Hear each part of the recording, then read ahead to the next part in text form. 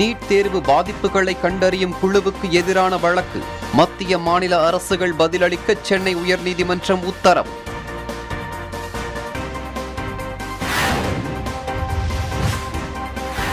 Corona மூன்றாவது அலையை எதிர்கொள்ள பொது நிவாரண நிதியிலிருந்து தமிழகத்திற்கு நூறு கோடி ரூபாய் ஒதுக்கீடு. அரசு மருத்துவமனைகளுக்கு திரவ ஆக்சிஜன் வாங்க முன்னுரிமை.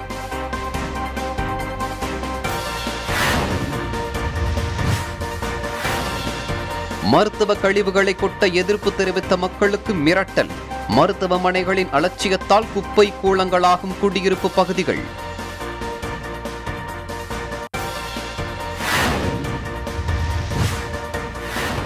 மதுராந்தகம் சமத்துவபுரத்தில் நூறு தொகுப்பு வீடுகள் ஒதுக்கப்பட்ட விவகாரம்.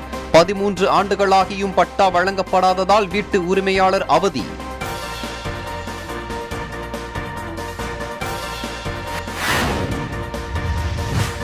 முதியவர்களை குறிவைத்து ஏடிஎம்களில் பணத்தை சுருட்டும் கும்பல். சைபர் கிரைம் போலீசார் உடனடி நடவடிக்கை எடுக்க கோரிக்கை.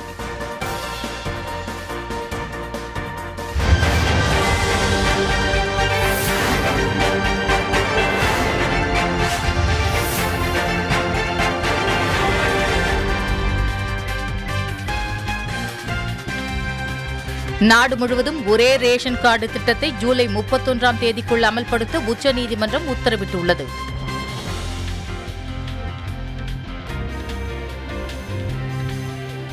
இந்திய வரைபடத்தில் ஜம்மு காஷ்மீர் லடாக்கை பிரித்து தனியாக காட்டி சர்ச்சையை ஏற்படுத்திய ட்விட்டர் நிறுவனத்திற்கு சமூக வலைதளத்தில் பலரும் கடும் கண்டனங்களை தெரிவித்துள்ளனர்.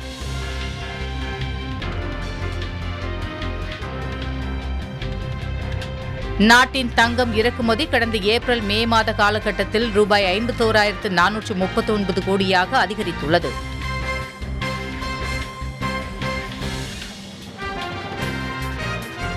ஜம்மு விமானப்படை தளத்தில் ஆளில்லா சிறிய ரக விமானங்கள் மூலம் குண்டுவெடிப்பு தாக்குதல் நடத்திய வழக்கு தேசிய புலனாய்வு அமைப்புக்கு மாற்றப்பட்டுள்ளது.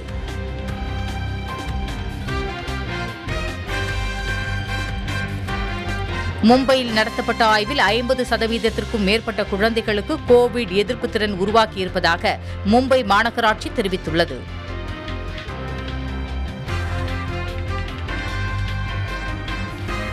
கர்நாடகத்தில் கொரோனா பரவலால் கடும் கட்டுப்பாடுகளுடன் வருகிற பத்தொன்பது மற்றும் இருபத்தி இரண்டாம் தேதிகளில் எஸ்எஸ்எல்சி தேர்வு நடக்கிறது. இந்த தேர்வை எட்டு புள்ளி எழுபத்தைந்து லட்சம் மாணவ மாணவிகள் எழுதுகிறார்கள்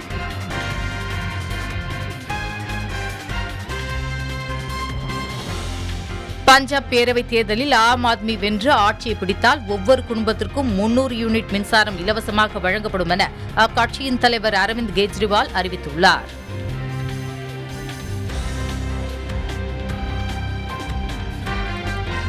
அமெரிக்காவில் பள்ளிகளில் ஆண்டுதோறும் நடத்தப்பட்டு வரும் புகழ்பெற்ற ஸ்பெல்லிங் பி போட்டியில் தொடர்ந்து பனிரெண்டு ஆண்டுகளாக இந்திய வம்சாவளி குழந்தைகள் வெற்றி பெற்று சாதனை படைத்து வருகிறார்கள்.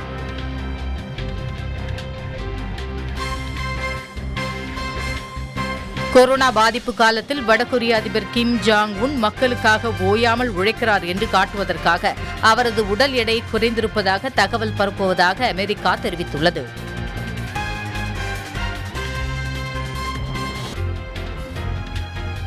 உலக அளவில் கொரோனா பாதிப்பு பதினெட்டு புள்ளி இருபத்தோரு கோடியாக உள்ள நிலையில் கொரோனா பாதிப்பு அதிகமுள்ள நாடுகளின் பட்டியலில் America India Brazil France Russia ஆகியவை முதல் ஐந்து இடங்களில் உள்ளன.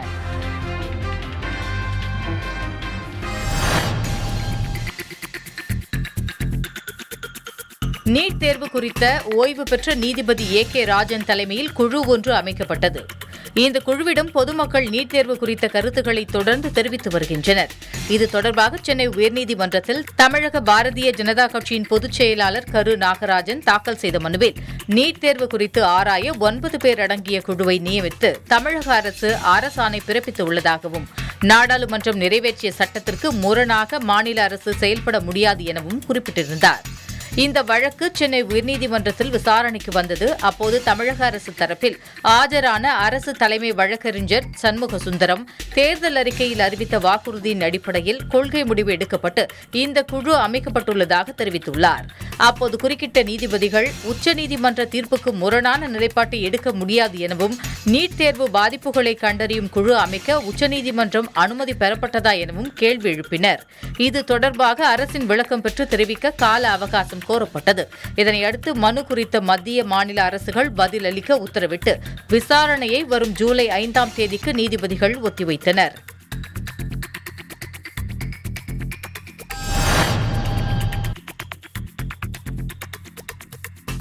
கோவிட் மூன்றாவது அலை தொடர்பான முன்னேற்பாட்டு நடவடிக்கைகளை மேற்கொள்ள நூறு கோடி ரூபாய் ஒதுக்கீடு செய்து முதல்வர் ஸ்டாலின் உத்தரவிட்டுள்ளார். இது தொடர்பாக வெளியான அறிக்கையில் கொரோனா தடுப்பு முயற்சிகளுக்கு முதல்வர் நிவாரண நிதிக்கு இதுவரை முன்னூற்று ஐம்பத்து மூன்று கோடி ரூபாய் பெறப்பட்டுள்ளதாகவும் இதுவரை பெறப்பட்டுள்ள நிதியிலிருந்து ரெம்டெசிவிர் மருந்து வாங்குவதற்கு மற்ற மாநிலங்களில் இருந்து திரவ ஆக்சிஜனை ரயில் மூலமாக கொண்டு வருவதற்கு கண்டெய்னர்களை வாங்குவதற்கு என முதல் கட்டமாக ஐம்பது கோடி ரூபாயும் இரண்டாம் கட்டமாக ஆர்டிபிசிஆர் கிட்களை வாங்குவதற்கு ஐம்பது கோடி ரூபாயும் வழங்க உத்தரவிடப்பட்டிருந்தது. பின்னர் அயல் நாடுகளில் இருந்து ஆக்சிஜன் உருளைகள் செறிவூட்டிகள் மற்றும் இதர மருத்துவ கருவிகளை வாங்குவதற்கு நாற்பத்தோரு கோடி ரூபாயும் கரும்பூஞ்சை நோய் சிகிச்சைக்கு தேவைப்படும் ஆம்போ டெரிசின் உள்ளிட்ட உயிர்காக்கும் மருந்துகள் வாங்குவதற்கு இருபத்தைந்து கோடி ரூபாயும் ஒதுக்கீடு செய்யப்பட்டிருந்தது. தற்போது முதல்வர் பொது நிவாரண நிதியிலிருந்து கோவிட் நோய் சிகிச்சைக்காக திரவ ஆக்சிஜன் வாங்குவதற்கும் இந்த தொற்றின் மூன்றாவது அலை தொடர்பான முன்னேற்பாட்டு நடவடிக்கைகளை மேற்கொள்வதற்கும் நூறு கோடி ரூபாய் ஒதுக்கீடு செய்து முதலமைச்சர் ஸ்டாலின் உத்தரவிட்டு உள்ளதாக அந்த அறிக்கையில் தெரிவிக்கப்பட்டுள்ளது.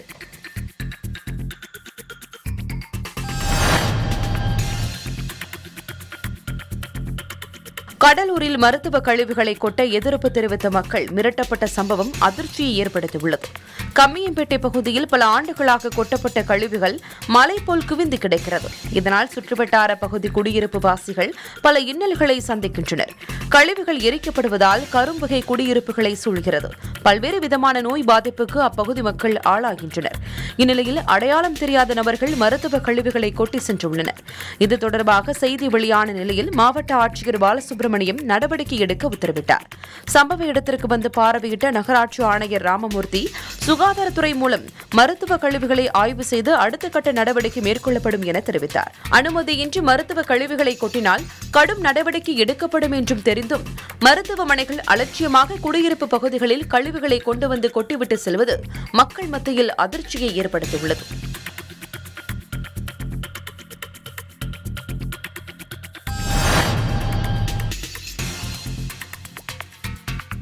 கடந்த இரண்டாயிரத்தி ஆறு இரண்டாயிரத்தி பதினோராம் ஆண்டு திமுக ஆட்சியின் போது தமிழகத்தில் பல்வேறு பகுதிகளில் சமத்துவபுரம் என்ற பெயரில் தொகுப்பு வீடுகள் கட்டி பல்வேறு சமூகத்தைச் சேர்ந்தவர்களுக்கு திமுக அரசு கடந்த இரண்டாயிரத்தி பத்து இறுதியில் பயனாளிகளுக்கு வழங்கியது. ஆனால் செங்கல்பட்டு மாவட்டம் மதுராந்தகம் ஒன்றியத்திற்கு உட்பட்ட நடராஜபுரம் பகுதியில் உள்ள சமத்துவபுரத்தில் நூறு வீடுகள் கட்டி அனைத்து சமுதாயத்தினருக்கும் நலிவடைந்த பயனாளிகளுக்கும் கொடுக்கப்பட்டது. ஆனால் வீடுகள் வழங்கி பனிரண்டு ஆண்டுகளுக்கு மேலாகியும் இதுவரை இங்கு வசிப்பவர்களுக்கு அவர்கள் பெயரில் இதுவரை அரசு பட்டா வழங்கப்படவில்லை. தற்பொழுது பத்து ஆண்டுகளில் இந்த வீடுகள் மேற்கூரை இடிந்து விழுந்து வீடுகள் சேதமடைந்து உள்ளது. இதனால் இங்கு வசிப்பவர்களில் பெரும்பாலானோர் அருகில் கொட்டகை அமைத்து வசித்து வருகின்றனர். இதுகுறித்து பல ஆண்டுகளாக புகார் மனுக்கள் அளித்தும் இதுவரை நடவடிக்கை எடுக்கப்படவில்லை. ஆகவே அரசு தங்கள் குடியிருப்பு இடங்களுக்கு பட்டா வழங்கவும் மேலும் சிதிலமடைந்த புதிய வீடு கட்ட முடியாத நபர்களுக்கு பழுதடைந்த வீடுகளை புதுப்பித்து தர உரிய நடவடிக்கை எடுக்க வேண்டும் எனவும் இந்த பகுதி மக்கள் கோரிக்கை விடுத்துள்ளனர்.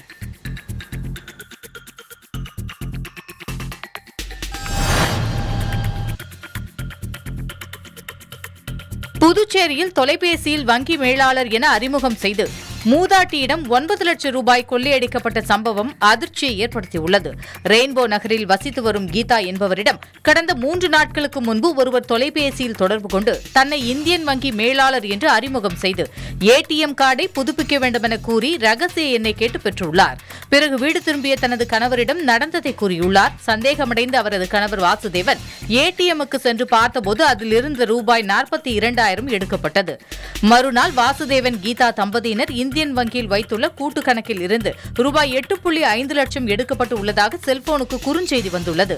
அதை பார்த்து அதிர்ச்சியடைந்த அவர்கள் வங்கி கணக்கில் இருந்து இணையம் மூலம் பணம் கொள்ளை போனது குறித்து புதுச்சேரி சைபர் கிரைம் போலீசாரிடம் புகார் அளித்துள்ளனர். இதையடுத்து வழக்கு பதிவு செய்து விசாரணை மேற்கொள்ளப்பட்டு வருகிறது.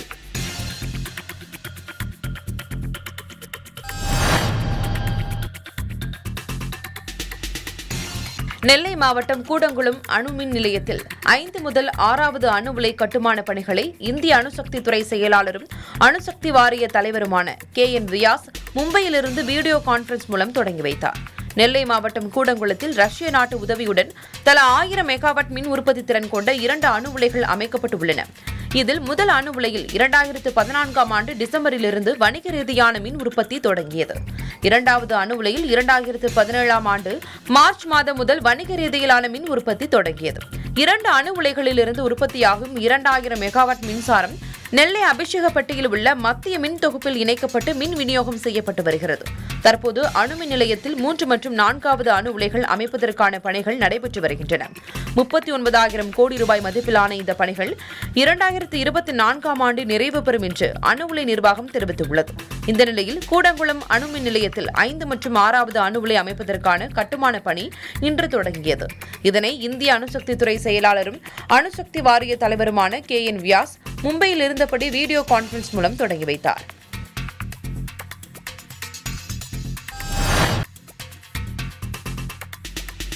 ஈரோடு மாவட்டம் சத்தியமங்கலம் பகுதியில் தாகம் தீர்க்க தண்ணீர் தேடி அலைந்த இரண்டு காக்கைகள். அப்பகுதியில் உள்ள குடிநீர் குழாயில் குடத்தில் தண்ணீர் பிடித்துக் கொண்டிருந்ததை கண்டு குடிநீர் குழாய் அருகே சென்று அமர்ந்தன குழாய் அருகே பொதுமக்கள் யாரும் இல்லாததால் இரண்டு காக்கைகளும் குழாய் மீது ஏறி அமர்ந்து தனது அலகுகளால் ஒன்றுக்கொன்று கொத்தி அன்பை பரிமாறிக்கொண்டன பின்னர் ஒரு காக்கை குழாயில் வரும் தண்ணீரை தனது அலகுகளால் லாவகமாக குடிக்கத் தொடங்கியது. இரண்டு காக்கைகளும் குழாய் மீது அமர்ந்து குடிநீர் அருந்தும் காட்சியை அப்பகுதி பொதுமக்கள் கண்டு ரசித்தனர். கோடை வெயில் காரணமாக காக்கைகள் காலை நேரத்திலேயே குடிநீர் குழாய் மீது அமர்ந்து தண்ணீர் அருந்தும் காட்சி காண்போர் கண்களுக்கு விருந்தாக அமைந்தது.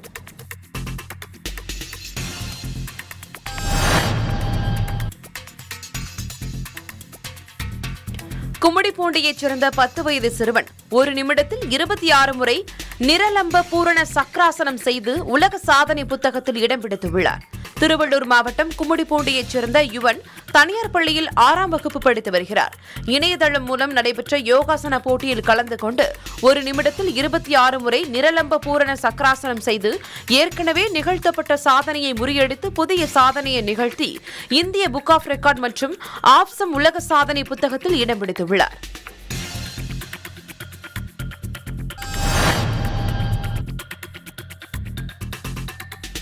நீலகிரி மாவட்டம் குன்னூர் தொழிற்கூட்டுறவு தேயிலை தொழிற்சாலைகள் கூட்டமைப்பு இணையும் கட்டுப்பாட்டில் பதினாறு தொழிற்சாலைகள் செயல்படுகின்றன. இங்கு மூன்று லட்சம் கிலோ இலை கொள்முதல் செய்யப்படுகிறது. இன்கோ சவ் தயாரிக்கும் ஊட்டி டீக்கு தமிழகம் மட்டுமின்றி நாடு முழுவதும் வரவேற்பு உள்ளது. கொள்முதல் மையங்களில் சில தொழிற்சாலைகளில் பசுந்தேயிலைகளில் குச்சி காம்பு கரட்டு இலைகள் அதிக அளவில் வருவது தெரியவந்தது. இதனால் தேயிலை தொழில் தரம் பாதிக்கப்படுவதால் தரமற்ற இலைகளை கொள்முதல் மையத்திலேயே நிராகரிக்க தமிழக அரசு உத்தரவிட்டுள்ளது.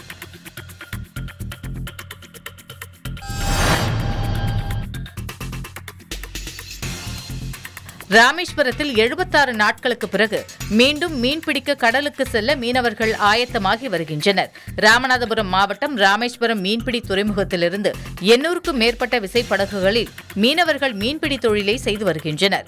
கடந்த பதினைந்தாம் தேதியே மீன்பிடி தடைகாலம் முடிவடைந்த நிலையில் கொரோனா பரவலை கட்டுப்படுத்தும் நோக்கத்தோடும் பிடித்து வருகின்ற மீன்களை சந்தைப்படுத்த முடியாத சூழ்நிலை ஏற்பட்டு வந்ததாலும் மீனவர்கள் அனைவரும் முறையாக தடுப்பூசி செலுத்த வேண்டும் என்ற நோக்கோடு இதுவரை மீன்பிடிக்க செல்லவில்லை. இல்லை இந்த நிலையில் எழுபத்தாறு நாட்கள் கழித்து மீனவர்கள் மீன்பிடிக்க கடலுக்கு செல்ல இருப்பதால் ஐஸ் கட்டி குடிநீர் அத்தியாவசிய உணவுப் பொருட்கள் உள்ளிட்டவற்றை தங்களது படகுகளில் ஏற்றும் ஆயத்த பணியில் மும்முரமாக ஈடுபட்டு வருகின்றனர்.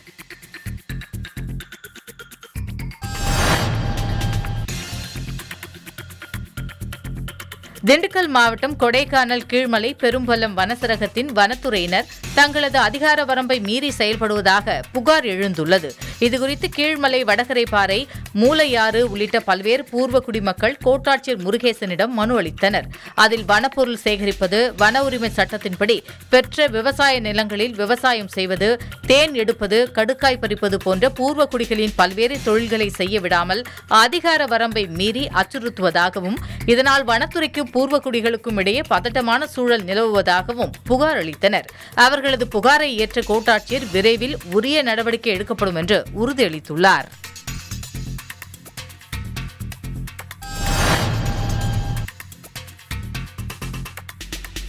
காவிரி நீர்பிடிப்பு பகுதியில் பெய்த மழையால் கபினியிலிருந்து ஐந்தாயிரம் கன அடியும் கிருஷ்ணராஜசாகர் அணையிலிருந்து ஐந்தாயிரம் நானூற்று ஒரு கன அடி என மொத்தம் பத்தாயிரத்து நானூற்று ஒரு கன அடி தண்ணீர் காவிரி ஆற்றில் திறக்கப்பட்டது. இதனால் காவிரி ஆற்றில் நீர்வரத்து வினாடிக்கு ஆயிரத்து ஐநூறு கன அடியிலிருந்து படிப்படியாக உயர்ந்தது. இந்நிலையில் கர்நாடக அணைகளிலிருந்து தமிழகத்திற்கு திறக்கப்படும் தண்ணீர் அளவு வினாடிக்கு எட்டாயிரம் கன அடியாக குறைக்கப்பட்டது. தொடர்ந்து கர்நாடக அணைகளிலிருந்து வெளியேற்றப்படும் நீரின் அளவு வினாடிக்கு நான்காயிரம் கன அடியாக குறைக்கப்பட்டுள்ளதால் மேலும் நீர்வரத்து குறையும் என தெரிகிறது.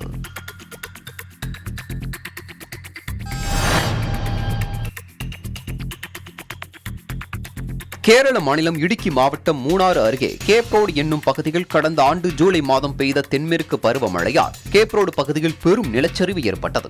இதில் கொச்சி தனுஷ்கோடி தேசிய நெடுஞ்சாலை முழுவதுமாக சேதமடைந்ததால் சாலை போக்குவரத்து முழுவதுமாக துண்டிக்கப்பட்டது. இதனை அடுத்து தேசிய நெடுஞ்சாலைத்துறை சார்பில் ஐந்து கோடி ரூபாய் நிதி ஒதுக்கீடு செய்யப்பட்டு பணிகள் தொடங்கப்பட்டன.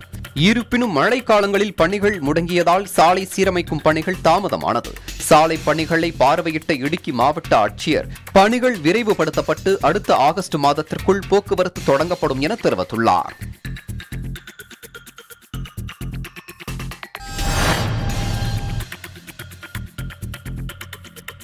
திண்டுக்கல் மாவட்டம் கொடைக்கானல் மலைப்பகுதி கொரோனா தொற்றில் இரண்டாம் வகையில் உள்ளது.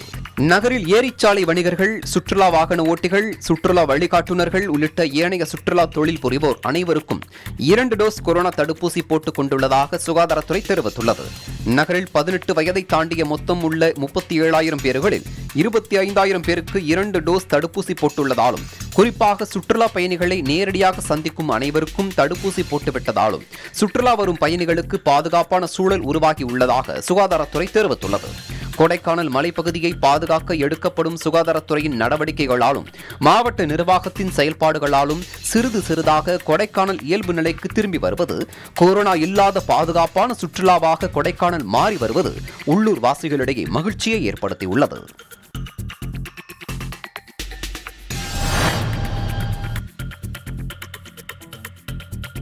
கொரோனா காரணமாக சுற்றுலா தலங்களுக்கும் அருவிகளுக்கும் சுற்றுலா பயணிகள் செல்ல தமிழக அரசு தடை விதித்தது. இதனால் தேனி மாவட்டம் கம்பம் அருகே உள்ள பிரபல சுருளி அருவி மக்களின்றி வெறிச்சோடி காணப்படுகிறது. கொரோனா தடுப்பு நடவடிக்கையாக கடந்த இரண்டு மாதங்களுக்கு மேலாக அருவியில் குளிக்க வனத்துறையினர் தடை விதித்தனர். இதனால் சுருளி அருவியில் அங்குள்ள குரங்குகள் மக்கள் நடமாட்டம் இல்லாததால் உணவின்றி தவித்து வருகின்றன. மேலும் சுருளி பகுதியில் உள்ள கோயிலுக்கு வரும் சில பக்தர்கள் தரும் பழங்களை உண்டு. குரங்குகள் சற்று பசியாறி வருகிறது. எனவே கொரோனா தாக்கம் தற்பொழுது குறைந்துள்ள சூழ்நிலையில் சுருளி அறிவிற்கு சுற்றுலா பயணிகளையும் பொதுமக்களையும் அனுமதிக்க வேண்டுமென கோரிக்கையும் எழுந்துள்ளது.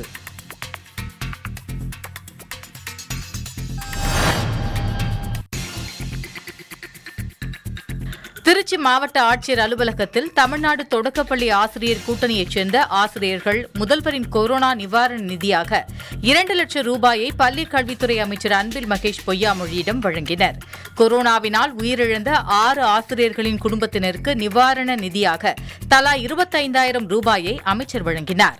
அப்போது அமைச்சர் செஞ்சி மஸ்தான் மாவட்ட ஆட்சியர் சிவராசு ஆகியோர் உடனிருந்தனர். இதைத் தொடர்ந்து தமிழ்நாடு தொடக்கப்பள்ளி ஆசிரியர் கூட்டணியின் மாநில பொருளாளர் நீலகண்டன் செய்தியாளர் செய்தியாளர்களிடம் பேசுகையில் ஆசிரியர்களையும் முன்கள பணியாளர்களாக கருதி உயிரிழந்த ஆசிரியர் குடும்பங்களுக்கு தலா இருபத்தைந்து லட்சம் ரூபாய் நிவாரணமும் அவர்களின் குடும்பத்தில் ஒருவருக்கு வேலையும் அரசு வழங்க வேண்டும் என்றார் எங்களுடைய தமிழ்நாடு தொடக்கப்பள்ளி ஆசிரியர் கூட்டணி சார்பாக திருச்சிராப்பள்ளி மாவட்ட கிளை சார்பாக இன்று மாண்புமிகு கல்வி அமைச்சர் அவரிடம் ரூபாய் இரண்டு லட்சத்திற்கான காசோலை முதலமைச்சர் நிவாரண நிதிக்கு வழங்கியிருக்கின்றோம். அதே போல கொரோனா தொற்றினால் உயிரிழந்த ஆசிரியர்களுடைய குடும்பங்களுக்கு எங்கள் அமைப்பின் சார்பாக ஐந்து ஆசிரியர்களுக்கு அமைச்சர் கையினால் கிட ஒரு குடும்பத்திற்கு இருபத்தையாயிரம் நிதி நிவாரண நிதியாக வழங்கியிருக்கின்றோம். மேலும் எங்களுடைய மாநில அமைப்பின் சார்பாக மிக விரைவில் மாநில அளவில் மாண்புமிகு முதலமைச்சர் அவர்களிடம் ஒரு கோடிக்கும் தாண்டிய நிதியை வழங்குவதற்கான செயல் திட்டங்களில் எங்களுடைய மாநில அமைப்பு செயல்பட்டு வந்திருக்கின்றன.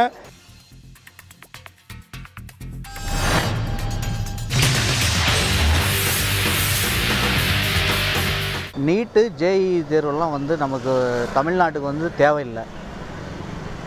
அதாவது வந்து டுவெல்த்து பப்ளிக் எக்ஸாம் மார்க்கே நமக்கு போதுமானதாக இருக்குது அதனால் வந்து நீட்டு ஜேஇ தேர்வு பசங்களை வந்து மேலும் கடினமாக்குற செயலாக அது இருக்குது அதனால் தமிழ்நாட்டுக்கு வந்து இது இந்த இப்போது இருக்கிற சிலபஸே போதுமானதாக இருக்குது நீட் ஜேஇலாம் ரொம்ப தேவையில்லாதது. இது வந்து தேவையற்ற செயல் வந்து மேலும் மாணவர்களுக்கு வந்து சுமையை வந்து கூட்டுறதா இது இருக்குது இந்திய ஒன்றிய அரசாங்கம் கல்விக் கொள்கையில் சில மாற்றங்களை செய்து ஏழை எளிய மக்களின் கல்வி வாழ்வாதாரத்தை நசுக்கும் வகையில் நீட் தேர்வு என்ற கொடிய நோயை உருவாக்கியிருக்கிறது. இந்த கொடிய நோய்க்கு தமிழகத்தில் மட்டும் ஏறத்தாழ இரண்டு மூன்று ஆண்டுகளில் பதினெட்டு இருபது மாணவர்கள் பலியாகி இருக்கிறார்கள். ஆகையால் கிராமப்புறங்களில் வசிக்கும் கிராமப்புறங்களில் படிக்கும் மாணவர்களுக்கு இந்த நீட் தேர்வு உகந்ததல்ல. இந்த நீட் தேர்வானது மெட்ரிகுலேஷனிலும் சிபிஎஸ்இ மாணவர்களுக்கு மட்டுமே உகந்ததாக இருக்கிறது. ஆகையால் கிராமப்புற மக்களும் கிராமப்புற மாணவர்களும் இந்த நிலைக்கு மாற வேண்டுமென்றால் அவர் கூட போட்டி போட வேண்டும் போட்டி போட வேண்டுமென்றால் இந்த கொடிய நோயான நீட் தேர்வை எதிர்ப்பதே சாலச்சிறந்ததாகும் தமிழ்நாட்டில் நீட் என்பது தாழ்த்தப்பட்ட பழங்குடி மக்களுக்கு பெரிய ஒரு பேர் இழப்பாக இந்த நீட்டு கருதப்படும். அதனால் வசதிப்படுத்த மட்டும்தான் அந்த நீட்டு எக்ஸாம் எழுதி அவன் கோச்சிங்கு அது இது போய் படிக்க முடியும். வசதிப்படுத்தவன் வந்து நீட்டு எக்ஸாம்ன்றது ஒரு கேள்விக்குறியாக ஆயிடும் அதனால் வந்து தமிழ்நாட்டில் வந்து நீட்டுன்றது தேவையில்லாத ஒன்று அதே மாதிரி இன்ஜினியரிங்களுக்கு நீட் என்பது அதுவும் தேவையில்லாத ஒன்று. தமிழ்நாட்டின் நீட்டு பொறுத்தவரை இது பெரிய இழப்பாகத்தான் கருதப்படும். நீட் என்பது இந்த தமிழ்நாட்டுக்கு தேவையில்லை. தற்போது மத்திய அரசு அறிவித்துள்ள இந்த ஜேஇ தேர்வும் மற்றும் இந்த நீட்டு இது இதனால் வந்து பாதிக்கப்படுறது யாருன்னு கேட்டாக்க ஏழை மக்கள் தான் பாதிக்கிறாங்க. அதாவது பார்த்தீங்கன்னாக்கா இன்றைக்கி இதனால் வந்து ஏழை மக்கள் வந்து கிராமப்புறத்துலேருந்து அவங்க மெடிக்கல் வந்து ஒரு கனவாகவே போயிடுது அவங்களுக்கு. அதுபோல் அதனால் மத்திய அரசாங்கம் வந்து இதை வந்து பரிசீலனை பண்ணி அதாவது வந்து நகர்ப்புறத்தில் கிராமப்புற மக்கள் வந்து முன்னேறணும்னு சொன்னால் நிச்சயமாக வந்து ஜேஇ தேர்வு ரத்து பண்ணணும். அதே போல் நீட் தேர்வு கண்டிப்பாக ரத்து பண்ணணும். ஏன்னா இது வந்து ரொம்ப மக்களுக்கு வந்து பெரிய பாதகமாக இருக்குது. தயவு செய்து மத்திய அரசாங்கத்தை வந்து ஏதோ வந்து பே சொல்லளவில் இல்லாமல் இது வந்து திணிக்காமல் இது வந்து ஒரு திணிப்பாக எடுத்துக்காமல் இதை வந்து மக்கள் ஏழை மக்களுடைய நலன் கருதி நிச்சயமாக அந்த தேர்வு வந்து ரத்து பண்ணணும். இது ஒட்டுமொத்த மக்களுடைய கருத்தாக நான் சொல்கிறேன் இந்த நீட் தேர்வு பற்றி இன்றைக்கு வந்து மிக பிரபலமாக பேசப்பட்டு கொண்டிருக்கிறது. நீட் தேர்வை பொறுத்தவரையில் நம்முடைய மாணவர்களுடைய எண்ணங்களை எழுச்சிகளை எல்லாவற்றையும் நசுக்கக்கூடிய ஒரு அமைப்பாக இருக்கிறது. ஏராளமான அளவில் பல்வேறு முறைகளிலே தேர்வுகள் இ- இந்தியா முழுமைக்கு நடைபெறுகிறது. ஆனால் அத்தனை முறைகளில் இருந்தும் சேர்ந்து ஒரே தேர்வாக வைத்து ஏழை மாணவர்களை நசுக்கும் விதமாகத்தான் இந்த நீட் தேர்வு நடத்தப்படுகிறது என்ற காரணத்தால் அந்த நீட் தேர்வு தேவையில்லை என்பதை எங்களுடைய திட்டவட்டமான கருத்தாக தெரிவித்துக்கொள்கிறோம் நீட் தேர்வை ரத்து செய்து மக்களுக்கு எளிய வகையில் முன்பிருந்ததைப் போலவே இந்த சாதாரண நுழைவுத்தேர்வுகள் மூலமாக இந்த எம்பிபிஎஸ் படிப்பு அந்தந்த மாநில உரிமைகளுக்கு கொடுத்து அவர்களை பல்வேறு விதத்திலும் சிறப்பு பெற்ற மருத்துவர்களாக ஏழை மாணவனின் மருத்துவ கனவை நனவாக்கும் விதமாக அது செயல்படுத்த வேண்டும் என்று தமிழக அரசினை அன்போடு கேட்டுக்கொள்கிறோம். நீட் தேர்வு வந்து வசதியானவர்களுக்கும் வசதி இல்லாதவர்களுக்கும் பெரும் வித்தியாசம் இருக்கிறது அதனால் சம வாய்ப்பு இல்லாதனால நீட் தேர்வை வந்து ரத்து செய்யணும். இந்தியா முழுவதும் ஒரே பாடத்திட்டம் கிடையாது.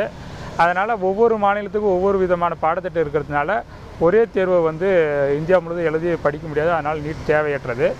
நகரங்களுக்கும் கிராமப்புறங்களுக்கும் படிப்பில் ஏற்றத்தாழ்வு இருக்குது. அதனால் நீட் தேர்வு தேவையற்றது. நீட் தேர்வு தனியார் மருத்துவக் கல்லூரிகளில் வேண்டுமானால் இப்போ போதுமானது இருக்கும் ஒழிய அரசு மருத்துவக் கல்லூரிகள் வந்து மக்கள் வரிப்பணத்தில் வந்து கட்டுகின்ற கட்ட கட்டப்பட்ட மருத்துவக் கல்லூரிகள். அதனால் அரசு மா பள்ளியில் அரசு இப்போ படித்து போகிற மாணவர்களுக்கு அரசாங்கம் வந்து நீட் தேர்வு தேவையில்லை.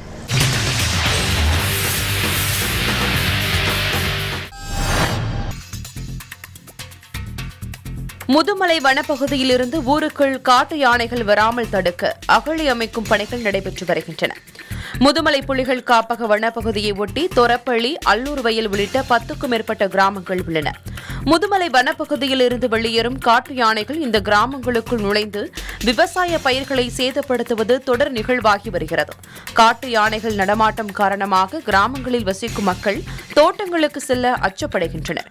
காட்டு யானைகளை தடுக்க வனப்பகுதி எல்லையில் ஏற்கனவே வெட்டப்பட்ட அகழி மழை காரணமாக பல இடங்களில் சேதமடைந்து அந்த வழியாக யானைகள் ஊருக்குள் வருகின்றன. அகழியை சீரமைக்க வேண்டும் என்ற மக்களின் கோரிக்கையை ஏற்று வனத்துறை அகழியை சீரமைக்கும் பணிகளை தொடங்கியுள்ளது. அகழி பணிகள் முழுவதுமாக முடிந்தவுடன் யானைகள் ஊருக்குள் வருவது முற்றிலும் தடுக்கப்படும் என வனத்துறையினர் நம்பிக்கை தெரிவித்துள்ளனர்.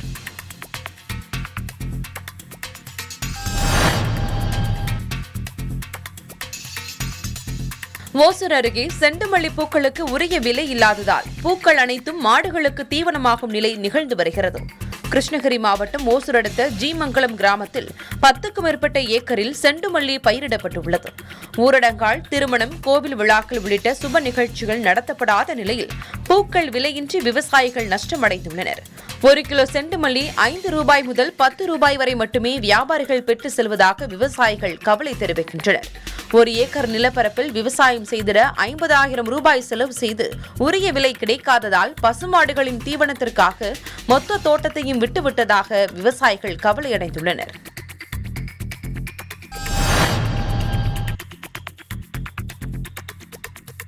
ஓமலூர் வட்டாரத்தில் மண் பரிசோதனை ஆய்வகம் அமைக்க வேண்டும் என விவசாயிகள் கோரிக்கை விடுத்துள்ளனர்.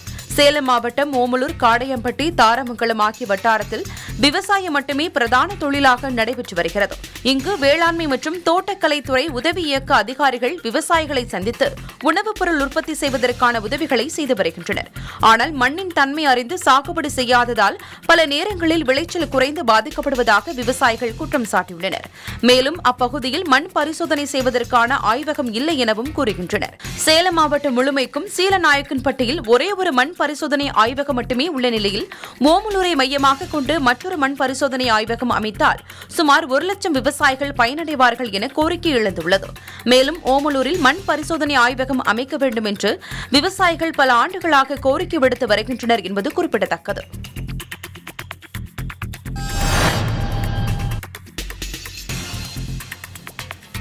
நாகை மாவட்டம் வேதாரண்யம் அருகே தலை ஞாயிறிலிருந்து வேட்டைக்காரனிருப்பு செல்லும் சாலையை சீரமைக்க எம்சாண்ட் கலந்த ஜல்லி பரப்பி ஆறு மாதங்களாகியும் சாலை அமைக்கும் பணி நடைபெறாததால் சாலையில் செல்லும் வாகன ஓட்டிகள் பாதிக்கப்பட்டு வருகின்றனர்.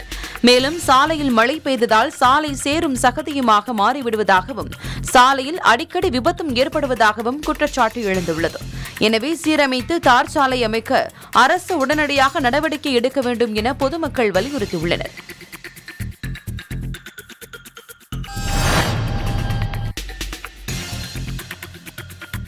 நெல்லை மாவட்டம் அம்பையில் சிவஞானம் என்பவருக்கு சொந்தமான மீனாட்சி ரெடிமேட் ஜவுளி இயங்கி வருகிறது கடையில் திடீரென மேல் மாடியில் தீப்பிடித்து இருந்தது. இதுகுறித்து தகவல் அறிந்த அம்பை தீயணைப்பு துறையினர் தீயை அணைக்கும் பணியில் ஈடுபட்டனர். சுமார் அரை மணி நேர போராட்டத்திற்கு பின் தீ முற்றிலுமாக அணைக்கப்பட்டு கட்டுக்குள் கொண்டு வரப்பட்டது. முதற்கட்ட விசாரணையில் கடந்த இரண்டு மாதத்திற்கு மேலாக பயன்படுத்தாமல் இருந்ததால் மின்சாரம் பாய்ந்து தீப்பிடித்தது தெரியவந்தது. இந்த தீ விபத்தில் பஞ்சு மெத்தைகள் ஜவுளிகள் என பல லட்சம் மதிப்பிலான பொருட்கள் எரிந்து சேதமடைந்தது குறிப்பிடத்தக்கது.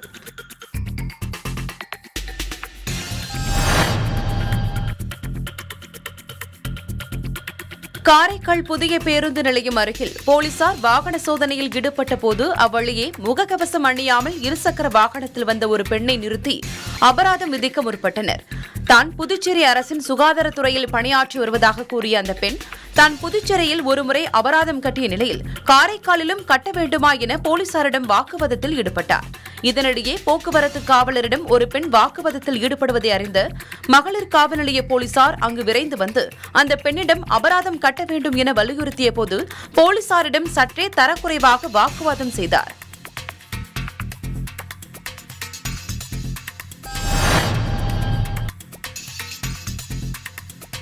திருவண்ணாமலை மாவட்டம் வந்தவாசியை அடுத்த வங்காரம் கிராமத்தில் சுடுகாட்டு பாதையை தனிநபர் ஒருவர் ஆக்கிரமிப்பு செய்துள்ளார்.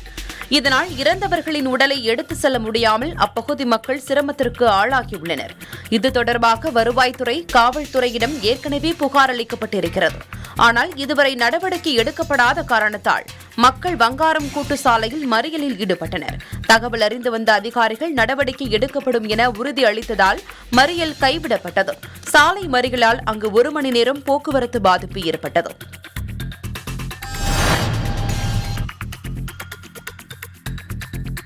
சிவகாசி அருகே சித்தமன் நாயக்கன்பட்டி பகுதியில் உள்ள ஒரு பட்டாசு ஆலையில் வெடி விபத்து ஏற்பட்டதாக தீயணைப்பு துறைக்கு தகவல் தெரிவிக்கப்பட்டுள்ளது. அதன் அடிப்படையில் சம்பந்தப்பட்ட அனைத்து துறை அதிகாரிகள் சம்பவ இடத்திற்கு வந்து பார்த்தபோது அது பொய்யான தகவல் என தெரிந்தது.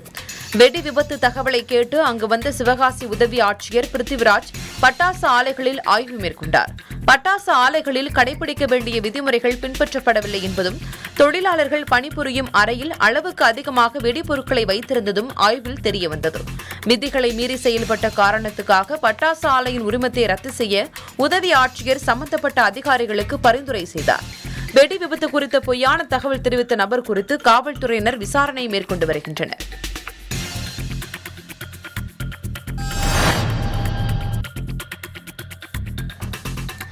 குழந்தைகளுக்கு எதிரான பாலியல் குற்றங்களை தடுக்கும் வகையில் நாகப்பட்டினத்தில் மாவட்ட குழந்தைகள் பாதுகாப்பு அலகு மற்றும் வேர்ல்டு மிஷன் இந்தியா சார்பில் குழந்தைகள் பாதுகாப்பு குறித்து விழிப்புணர்வு வாகன பேரணி நடைபெற்றது. நாகப்பட்டினம் கீழ்வேலூர் வேதாரண்யம் திருக்குவளை உள்ளிட்ட ஒன்பது தாலுகாவில் உள்ள கிராமங்கள் மற்றும் நகர பகுதிகளில் குழந்தைகளுக்கு எதிரான குற்றங்களான பாலியல் தொல்லைகள் குழந்தை திருமணம் தொழிற்சாலை கடைகள் உள்ளிட்ட குழந்தைகள் பாதுகாப்பு குறித்து பதாகைகள் மற்றும் விழிப்புணர்வு துண்டு பிரசுரங்கள் மூலம் விழிப்புணர்வு ஏற்படுத்தப்பட்டது.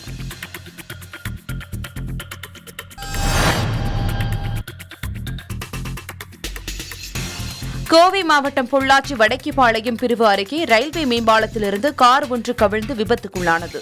தகவல் அறிந்த பொள்ளாச்சி போலீசார் பொதுமக்கள் உதவியோடு காரில் இருந்த நான்கு பேரை மீட்டனர். இதில் காரை ஓட்டி வந்த ஸ்ரீகாந்த் சம்பவ இடத்திலேயே உயிரிழந்தார். மேலும் மூன்று பேர் படுகாயங்களுடன் தனியார் மருத்துவமனையில் அனுமதிக்கப்பட்டனர். இதுகுறித்து நடத்தப்பட்ட விசாரணையில் தனியார் விளம்பர நிறுவனத்தில் பணியாற்றி வந்த ஸ்ரீகாந்துக்கு தனக்கு புதிய புதிய விளம்பர ஆர்டர் கிடைத்ததை கொண்டாடும் வகையில் நண்பர்கள் மூன்று பேரையும் அழைத்து பொள்ளாச்சியில் மது அருந்தியதாக கூறப்படுகிறது. மது போதையில் வாகனம் ஓட்டியதால் விபத்துக்குள்ளானது தெரியவந்தது.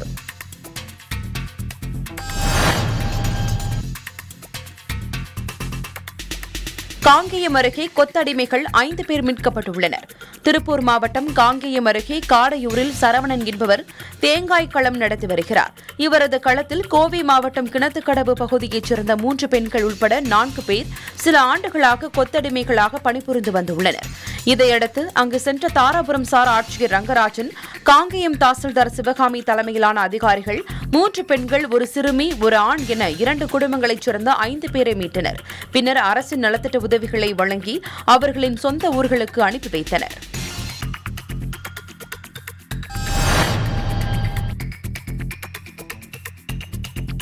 நெல்லை மாவட்டம் உவரி அருகே குட்டம் கிராமத்தில் உள்ள ஆனந்தவள்ளி அம்மன் ஆலயத்தில் கடந்த சில நாட்களுக்கு முன்பு அம்மன் சிலை இரண்டு துண்டாக உடைக்கப்பட்டது.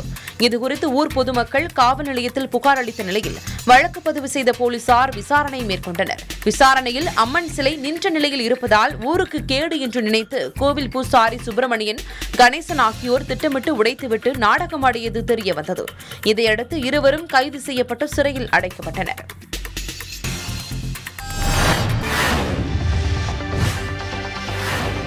வத்தலக்குண்டு பேருந்து நிலையத்தில் அருகில் உள்ள முடித்திருத்தம் கடையில் கொம்பேரி மூக்கன் பாம்பு நுழைந்துள்ளது. கடையில் ஸ்பீக்கரை ஒலிக்க செய்த போது பாம்பு வெளியே வந்துள்ளது. இதை கண்ட கடை உரிமையாளர் செந்தில் ஓட்டம் பிடித்தார். தகவல் அறிந்து வந்த தீயணைப்பு துறையினர் ஐந்து அடி நீள பாம்பை லாவகமாக பிடித்து வனப்பகுதிக்குள் விட்டனர். இதனால் அங்கு சிறிது நேரம் பரபரப்பு ஏற்பட்டது.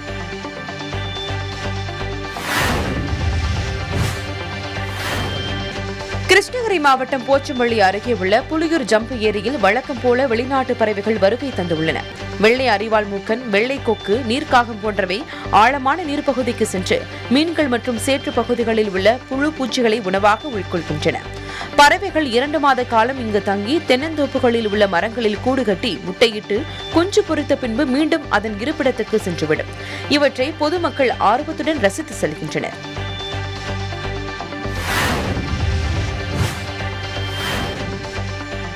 செங்கல்பட்டு மாவட்டம் மதுராந்தகம் அருகே உள்ள பவுஞ்சூர் கிராமத்தில் இந்தியன் ஆயில் பெட்ரோல் பங்க் இயங்கி வருகிறது. இங்கு வெளிநாட்டினர் மூன்று பேர் பெட்ரோல் போடுவதாக நிறுவன ஊழியரிடம் பேச்சு கொடுத்து அவர் வைத்திருந்த எண்பத்தி மூன்றாயிரம் ரூபாய் பணத்தை நூதன முறையில் கொள்ளையடித்து தப்பி சென்றனர். இச்சம்பவம் குறித்து சிசிடிவி பதிவு வைத்து போலீசார் விசாரணை மேற்கொண்டு வருகின்றனர்.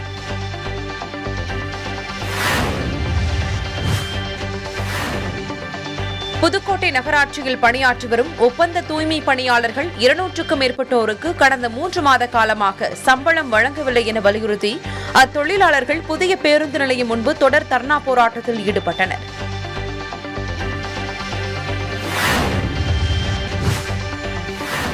தமிழகத்தில் புதிய ஊரடங்கு தளர்வில் ஏற்றுமதி சார்ந்த பின்னலாடை நிறுவனங்களும் அதற்கு இடுபொருட்கள் தயாரித்து கொடுக்கும் நிறுவனங்களும் நூறு சதவீத ஊழியர்களுடன் இயங்கலாம் என அறிவிப்பு வெளியிட்டதை அடுத்து திருப்பூரில் பின்னலாடை நிறுவனங்கள் முழு ஊழியர்களுடன் செயல்பட துவங்கியுள்ளது.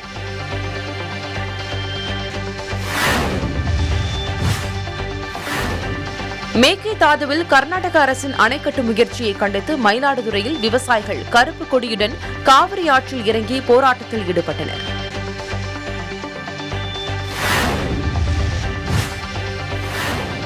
தமிழக கேரள எல்லையான களியக்காவிலை பகுதியில் பேரூராட்சியின் கட்டுப்பாட்டில் உள்ள தற்காலிக காய்கறி சந்தையால் நெரிசல் அதிகமாக ஏற்படுவதோடு வாகன ஓட்டிகளும் பொதுமக்களும் சிரமப்பட்டு வருவதாக புகார் எழுந்துள்ளது.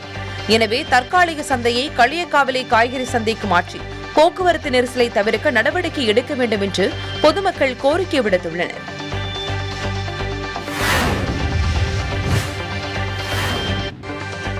ஊரடங்கு உத்தரவில் தளர்வுகள் அறிவிக்கப்பட்டதை அடுத்து புதுக்கோட்டை மாவட்டத்தில் ஐநூற்றுக்கும் மேற்பட்ட பொதுமக்கள் நாற்பத்தி ஏழு நாட்களுக்கு பிறகு மீண்டும் புதுக்குளம் பூங்காவில் புத்துணர்வோடும் உற்சாகத்தோடும் நடைபயிற்சியை செய்து வருகின்றனர்.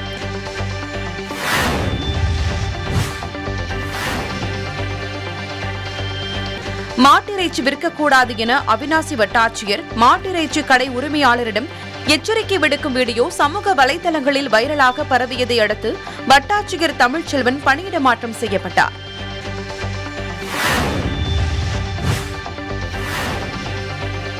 திருத்துறைப்பூண்டியில் மேல்மருவத்தூர் ஆதிபராசக்தி ஆன்மீக இயக்கத்தின் சார்பாக நூற்றுக்கும் மேற்பட்ட தூய்மை பணியாளர்களுக்கு அரிசி மளிகை காய்கறி உள்ளிட்டவை அடங்கிய தொகுப்பு வழங்கப்பட்டது.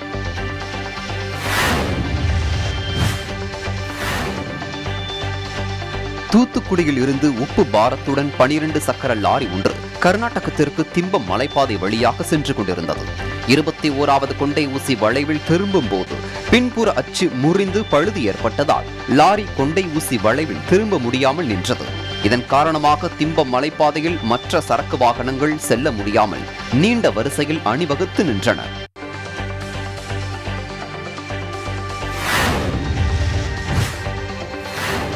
தமிழகத்திலிருந்து கேரளாவிற்கு கடத்துவதற்கு சாலையோரம் அடுக்கி வைக்கப்பட்டிருந்த இருநூறு மூட்டை ரேஷன் அரிசி பறிமுதல் செய்யப்பட்டது. தேனி மாவட்டம் உத்தமபாளையத்திலிருந்து சின்னமனூர் செல்லும் தேசிய நெடுஞ்சாலையில் சுமார் இருநூறு மூட்டைகள் அடுக்கி வைக்கப்பட்டிருந்தது. தகவல் அறிந்த வருவாய் கோட்டாட்சியர் பறக்கும் படை தாசில்தார் உள்ளிட்டோர் அங்கு ஆய்வு மேற்கொண்டனர். அப்போது இருநூறு மூட்டைகளில் ரேஷன் அரிசி இருப்பது கண்டுபிடிக்கப்பட்டது. இதனை அடுத்து அரிசியை பறிமுதல் செய்த வருவாய் கோட்டாட்சியர் உணவு கடத்தல் தடுப்பு காவல்துறையினரிடம் அதனை ஒப்படைத்தார். இது குறித்து உணவு கடத்தல் தடுப்பு காவல்துறையினர் வழக்கு பதிவு செய்து விசாரணை மேற்கொண்டு வருகின்றனர்.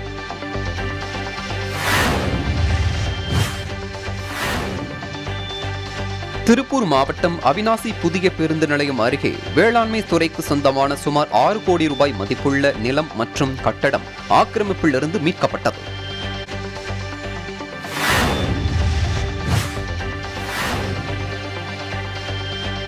ராமநாதபுரம் மாவட்டம் ஏர்வாடியில் கடந்த இரண்டாயிரத்தி ஏழு எட்டாம் ஆண்டு அறுபத்தைந்து புள்ளி ஐந்து ஐந்து லட்சம் ரூபாய் மதிப்பீட்டில் இப்ராஹிம் பாதுஷா நாயகம் தர்காவுக்கு அருகாமையில் புதிய பேருந்து நிலையம் கட்டப்பட்டது. ஆனால் திறக்கப்பட்ட நாளிலிருந்து பேருந்து நிலையம் பயன்பாட்டிற்கு வராமல் அப்படியே கிடப்பில் போடப்பட்டு மக்கள் வரிப்பணம் வீணடிக்கப்பட்டுள்ளது. இரவு நேரங்களில் சமூக விரோதிகளின் கூடாரமாகவும் பகல் நேரங்களில் மது பிரியர்களின் பாராகவும் மாறியுள்ளது. இதற்கு அதிகாரிகள் உடனடியாக தீர்வு காண வேண்டும் என கோரிக்கை எழுந்துள்ளது.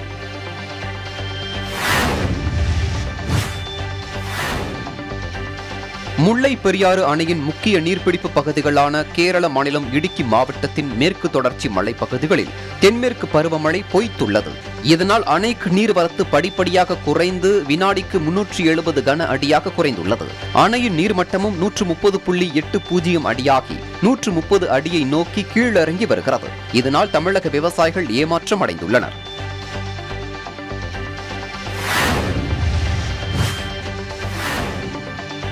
திருச்சியில் இரண்டு நாட்களுக்கு பிறகு நடைபெற்ற தடுப்பூசி முகாம் மக்கள் கூட்டம் அலைமோதியது திருச்சி மாநகராட்சிக்குட்பட்ட நான்கு கோட்டங்களில் எட்டு இடங்களில் மூன்றாயிரத்து இருநூறு கோவிஷீல்டு தடுப்பூசி மட்டுமே போடப்படும் என மாநகராட்சி ஆணையர் சிவசுப்பிரமணியன் தெரிவித்தார்.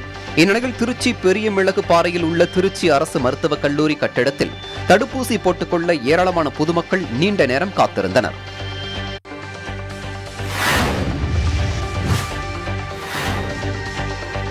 மாவட்டம் ஆம்பூரில் காய்கறி மற்றும் மளிகைப் பொருட்கள் மார்க்கெட்டை திறக்காமல் அதிகாரிகள் அலட்சியம் காட்டுவதாக கூறி வியாபாரிகள் மார்க்கெட் முன்பு அமர்ந்து தர்ணா போராட்டத்தில் ஈடுபட்டனர்.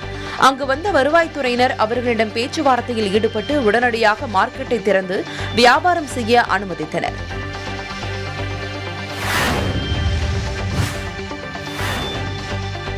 நாமக்கல் மாவட்டம் திருச்செங்கோடு சட்டமன்ற உறுப்பினரும் கொங்குநாடு மக்கள் தேசிய கட்சியின் பொதுச் செயலாளருமான ஈஸ்வரன் தமிழக சட்டமன்றத்தில் ஜெய்ஹிந்த் என்ற வார்த்தையை அவமதித்து விட்டதாக கூறி நாமக்கல் மாவட்டம் திருச்செங்கோடு அண்ணா சிலை முன்பு நாமக்கல் மாவட்ட பாரதிய ஜனதா சார்பில் கண்டன ஆர்ப்பாட்டம் நடைபெற்றது.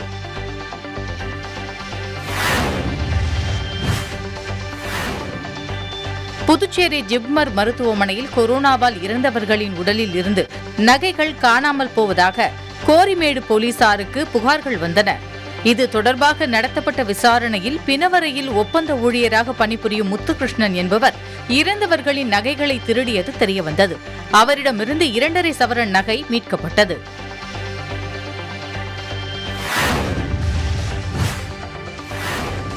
திருச்சி வாழவந்தான் கோட்டை மற்றும் திருச்சி கொட்டப்பட்டு பகுதியில் உள்ள இலங்கை அகதிகளுக்கான முகாம்களை சிறுபான்மையினர் நலன் மற்றும் வெளிநாடு வாழ் தமிழர் நலத்துறை அமைச்சர் செஞ்சி மஸ்தான் மற்றும் பள்ளிக் கல்வித்துறை அமைச்சர் அன்பில் மகேஷ் பொய்யாமொழி மாநிலங்களவை உறுப்பினர் திருச்சி சிவா ஆகியோர் நேரில் பார்வையிட்டு ஆய்வு செய்தனர்.